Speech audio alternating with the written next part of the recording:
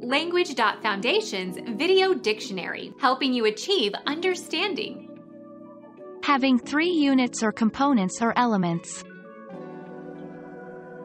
A ternary operation. Treble, triple, triplex. The cardinal number that is the sum of 1 and 1 and 1. 3. Deuce ace. E. Leash. Tercet. Become our student and get access to effective and free educational materials. Subscribe to our channel to become a part of our growing community and to learn English effectively.